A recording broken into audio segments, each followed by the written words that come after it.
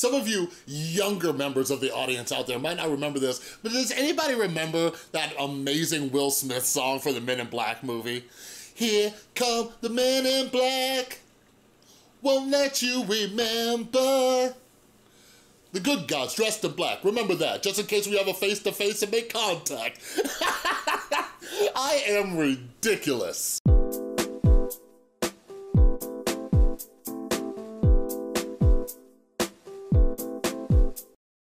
Is up, everybody? This is Chris from The Rewired Soul, where we talk about the problem, but focus on the solution. And if you're new to my channel, I am absolutely fascinated with YouTube culture, so sometimes I dive into a little YouTube commentary. So if you're into that kind of stuff, make sure you subscribe and ring that notification bell, and you know I got them sick raps. But anyways, yeah, I want to talk about this.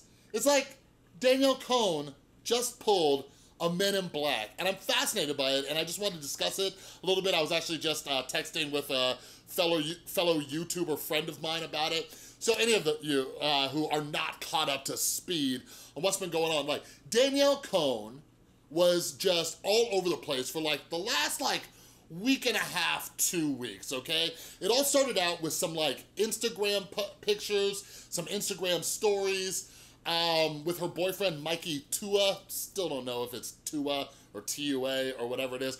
But it appeared as though she was pregnant. And one of the controversies that's always been surrounding Dani Cohn is her age, all right? She says she's 15, some people say she's 12, all that stuff that is just something I don't feel like diving into. I don't care. But anyways, so, but yeah, her being pregnant at that age was controversial, right?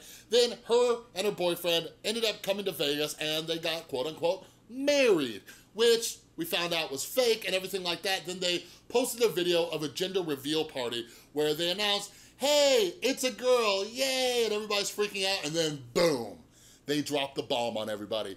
This was all an elaborate prank, which they did, then turned into a PSA about safe sex, teen pregnancy, and all that stuff, all right?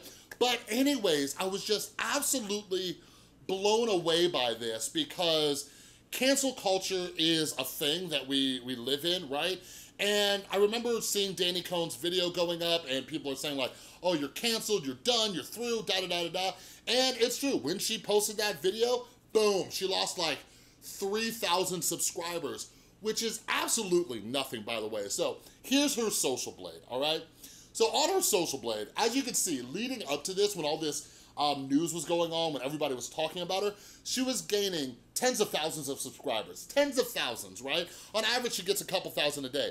So there was one day where she lost 3,000 subscribers, and after that, she made them right back. And like, here's the other thing. Like, everybody's just forgotten about it, including Dani Cohn. Like, she actually deleted that video and then put it back up. So she didn't really delete it. Usually you just hit like the private setting or unlisted setting so the public can't see it, but it's back up, it's there. I just saw this as I was thinking about this. But like, check out her Twitter. Like, check out her Twitter. She just acted like nothing happened. And I'm like, dang, girl, that's hella Men in Black style right there. Like, and nobody's talking about it. Nobody's talking about it anymore. And that's cool. Like, I think we should all move on. But it's just fascinating to me because as a society, like, we, we move on very quickly. And I have a few theories about why this happens. So one of the things is, is the 24-7 news cycle, right? We are constantly inundated with news, constantly, just constantly. Whether it's like YouTuber news, celebrity news, but also like major tragedies happening in the world. There's a lot of political stuffs going on. Like, we're living in a time that is different than any other time in history where news is constantly just being thrown in our face, right? So, so I think a lot of us, what we do is we prioritize, like what's important, right? Like a 15 year old girl, like pretending to be pregnant and getting married for views, like, meh, not that high on the priority scale, especially when you take into consideration like the Mueller report was just released, and there's a lot of stuff going on with the Trump presidency.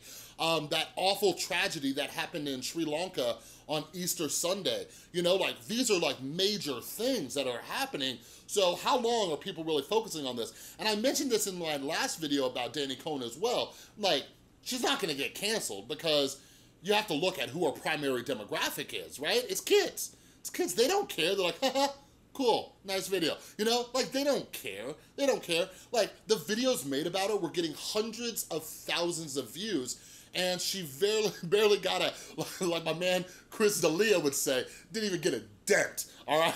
like just nothing. And she's still just going and thriving, just talking about it, like just talking about nothing happened. Like, so, so the other thing is too, just within the commentary community, like how long does a story go on for? How long um, do people talk about it for? How long is it relevant? I feel like for the commentary community, Danielle Cohn is always a topic of conversation just because she is so young and she has so much fame and a lot of people see what she's doing as controversial. But the next thing, the next theory I have as to why everybody just kind of forgot about this thing and moved on is because she's young, okay? Something I talked about in a video I did a, a while back about Angelica Oles and the commentary community as a whole, myself included, is I talked about um, uh, expectancy theory, I talked about confirmation bias, and all these other things, right? So expectancy theory is this uh, psychological theory about what we expect from different people, right? So I think her age plays a role into how quickly people moved on from this story, right? She's 15, possibly 12. Like, she's young, she goofed, like, she didn't even have to make an apology video. Like, in the realm of like social media influencers and YouTube influencers and all of that, like apology videos are like the thing. Like I've had my own history with those. But she didn't even have to do that. Like all she had was what you guys see on the screen behind me was just like, hey, sorry we tricked you. We just thought it'd be kind of fun. You know, so she's a kid. So like, I think that's another reason why we moved on very quickly and everybody just kind of forgot about it. Now, something that is constantly brought up is Dani Cohn's mother, all right?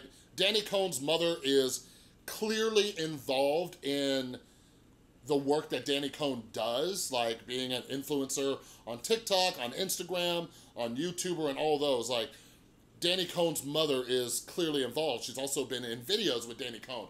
So I guess the question is, is like, how much responsibility is on her and everything, but here's the thing. Like, through some other videos I saw about Dani Cohn, Dani Cohn comes from you know, uh, a background of like childhood pageantry and things like that. And I never watched it, but I think like even JoJo Siwa came from like the dance moms, you know, whatever it was. But, you know, that's just kind of how those parents parent, I guess, you know, and it's something that I don't know, it's something that I battle with because a lot of kids these days, they want to be a YouTuber, they want to be an influencer, and you know, I have a 10-year-old son, and when I see what kind of goes on in uh, the culture of uh, social media and YouTube and Twitch and everything, I'm like, eh, so he's kind of, he's kind of backed off it, and I'm not really like, trying to pressure him into it, but if it comes up again, it's some, these are all things that I take into consideration as a parent, all right? The last thing, the last thing I think why everybody kind of moved on and forgot about this thing so so quickly is is because Dani Cohn herself moved on, right? Like Danielle didn't make an apology video. The only thing she had was that right there. She didn't even address publicly, to my knowledge, why she deleted that video or took it down and then put it back up. And she's just tweeting, she's on Instagram, you know, just, she's uploaded, this is like her third or fourth video since the gender, the, the gender reveal party prank, the whole pregnancy prank thing. Like Danielle just kind of like kept it moving and just kept doing her thing. Like, she just moved forward I'm like, dang, right? And I don't know, I don't know, like, I, I am just constantly analyzing everything and like, cancel culture is something that's just very fascinating to me and I'm extremely against it because I don't, I don't know. Everybody's human, they're gonna make mistakes and it's just about turning knowledge into wisdom and wisdom is taking action on your knowledge, right? So did Dani Cohn like learn from this? I don't know, maybe.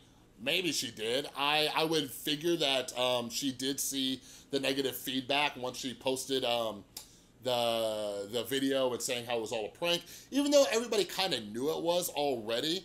But I don't know, she's just continuing to do her own thing. And these are just a few factors as to why I personally believe everybody kind of forgot about this and just moved on from it, but I would love to hear your thoughts on this down below because in the YouTube community, we've seen other controversies and everything be drawn out for days, weeks, months even, and this was kind of just like, boom, it happened, now we all forgot. We got, we just got men in blacked.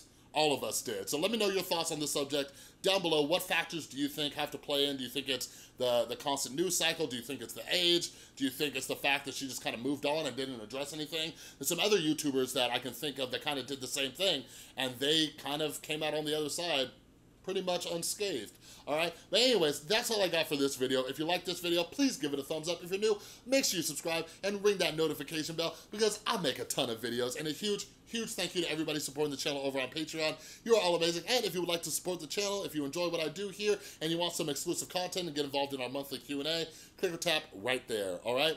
Thank you so, so much for watching. I'll see you next time.